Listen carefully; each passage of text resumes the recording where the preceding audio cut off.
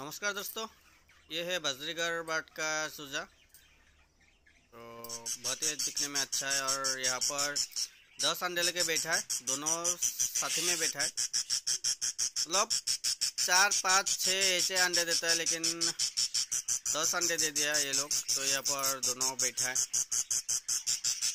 तो यहाँ से कितना सूजा निकलेगा उतना तो मालूम नहीं है। और इस मटके पर कितना एक, दो, तीन, चार, पाँच।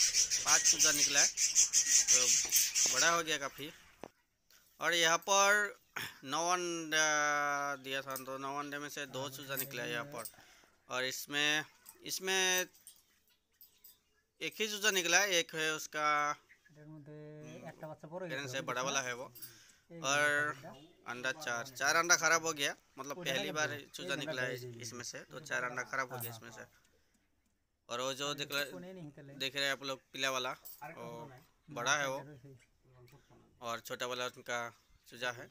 और सुबह सुबह ये लोग को चना दाल ये सब भिगो के दिया है। सुबह सुबह मतलब बहुत अच्छा रहता है।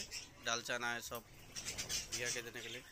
तो दोस्तों अगर आप लोग चैनल पर नए हैं तो वीडियो को लाइक कीजिएगा। अगर चैनल पर नए हैं तो सब्सक्राइब करना ना भूलें। क्योंकि मैं पोल्ट्री फार्म और ऐसा पंछी का वीडियो देते रहता हूँ। तो यहाँ पर पाँच चूजा निकला है अभी पंद्रह बीस दिन में ये उड़ना सीख जाएगा। और यहाँ पर तुलसी का पत्ता दे रखा है क्योंकि ठंडी का मौसम चल रहा है। तो सर्दी बुखार ये सब जुकाम होते रहता है। तो ये लोग को तुलसी का पत्ता दिया सुबह सुबह। तो देख ही रहे आप लोग कितना अच्छा लगता है ये दिखने में। और तुलसी का पत्ता बहुत अच्छे से करता है।